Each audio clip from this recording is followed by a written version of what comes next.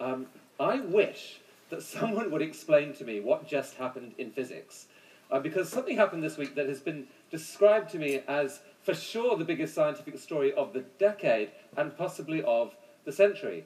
Well, it turns out we have with us this week one of the greatest physics communicators that there is, and also one of the geekiest illustrators that there is, Randall Munroe, who runs XKCD. Put the two together, a little bit of magic, and wow, here are four minutes that just might blow your mind. Allan Adams.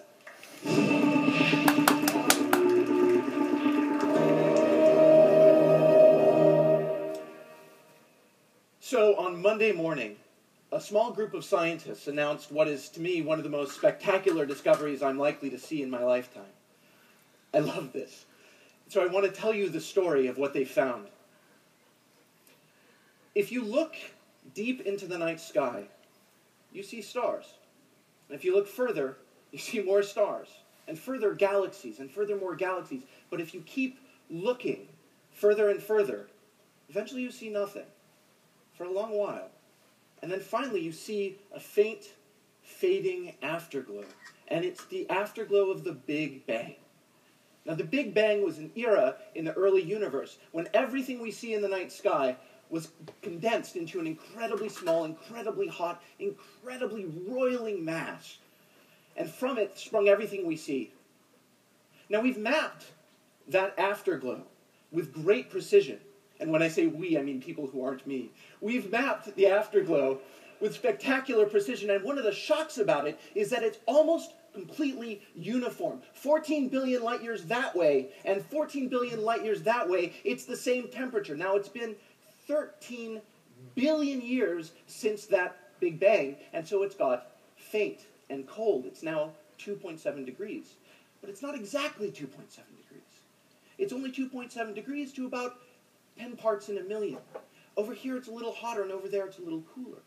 And that's incredibly important to everyone in this room because where it was a little hotter, there was a little more stuff. And where there was a little more stuff, we have galaxies and clusters of galaxies and superclusters and all the structure you see in the cosmos. And those small little inhomogeneities, 20 parts in a million, those were formed by quantum mechanical wiggles in that early universe that were stretched across the size of the entire cosmos. That is spectacular. And that's not what they found on Monday. What they found on Monday is cooler. So here's what they found on Monday. Imagine you take some hot, you take a bell and you whack the bell with a hammer. What happens? It rings. But if you wait, that ringing fades and fades and fades until you don't notice it anymore. Now, that early universe was incredibly dense, like a metal, way denser. And if you hit it, it would ring. But the thing ringing would be the structure of space time itself. And the hammer would be quantum mechanics. What they found on Monday was evidence of the ringing of the space time of the early universe, what we call gravitational waves from the fundamental era. And here's how they found it those waves have long since faded. If you go for a walk, you don't wiggle. Those gravitational waves in the structure of space are totally invisible for all practical purposes. But early on, when the universe was making that last afterglow, the gravitational waves put little twists in the structure of the light that we see. So by looking at the night sky deeper and deeper, in fact, these guys spent three years on the South Pole looking straight up through the coldest, clearest, cleanest air they possibly could find, looking deep into the night sky and studying that glow and looking for the faint twists, which are the symbol, the signal of gravitational waves, the ringing of the early universe. And on Monday, they announced that they had found it.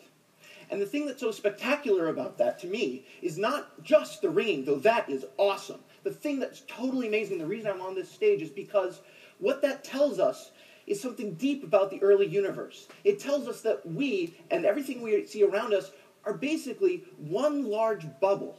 And this is the idea of inflation one large bubble surrounded by something else. This isn't conclusive evidence for inflation, but anything that isn't inflation that explains this will look the same. This is a theory, an idea that has been around for a while, and we never thought we'd really see it. For good reasons, we thought we'd never see killer evidence, and this is killer evidence. But the really crazy idea is that our bubble is just one bubble in a much larger, roiling pot of universal stuff. We're never going to see the stuff outside. But by going to the South Pole and spending three years looking at the detailed structure of the night sky, we can figure out that we're probably in a universe that looks kind of like that. And that amazes me. Thanks a lot. Yeah. Thousands of universes. Amazing. But they finally found Oh, proof, and this is and this is the week that science basically got confident that there really are multiple universes. That's what you're saying. It's a parsimonious explanation. It's not confirmation yet, but it's Not quite confirmation, but it is parsimonious. That's terrific. Okay. At TED over the years, over the last 30 years, there have been um, uh, a lot of predictions made, um, most of them quite sort of techno optimistic and whizzy and wonderful. Um, here's one that was made by Oliver Stone six years before September 11 that was not that. The World Trade Center is our problem because that's where the terrorism is going to come from. It's going to come from our blowback around the world. It's blowback, all of it. And when we die, and there's going to be, I, I, predict significant terrorist activity in the next 10 years in this country. And civilians and innocent people are going to die. And it's going to be, there's going to be some horror stories ahead.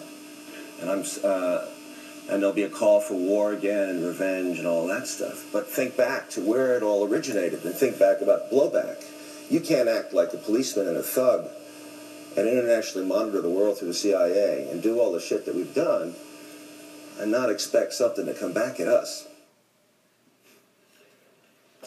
Not six years, three years before September 11, but uh, nonetheless, it was about around that time that um, uh, our next speaker was undergoing his own uh, very personal encounter with terror. Here's Zak Ebrahim.